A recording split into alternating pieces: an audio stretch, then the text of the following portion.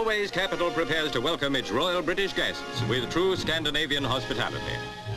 Its people line the streets and the waterfront in their thousands as the Royal Yacht Britannia drops anchor in Oslo Fjord and the Crown Prince brings the Queen ashore.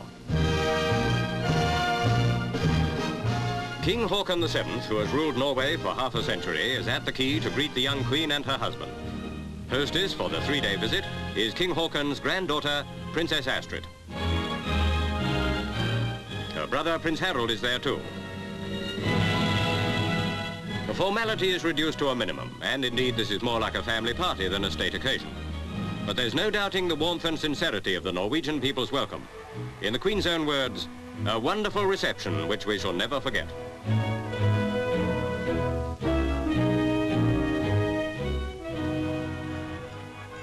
Children in traditional costume form a guard of honor at Oslo's Folk Museum.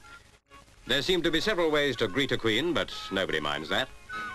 And there's only one way to dance this kind of dance, which after all is what she came to see. They can keep on like this for hours and hours. At Kon-Tiki House, the royal visitors see the famous raft and its skipper, Thor Heyerdahl. He shows them the log of the epic Pacific crossing which thrilled the world eight years ago. This graceful ship once struck fear into the hearts of our ancestors. Still, the Vikings who sailed in her became our ancestors too. In the evening, a gala performance at Oslo's National Theatre. And all Oslo is here to watch the Queen arrive. The friendship between our nations, tested in war, has continued in peace, says the Queen.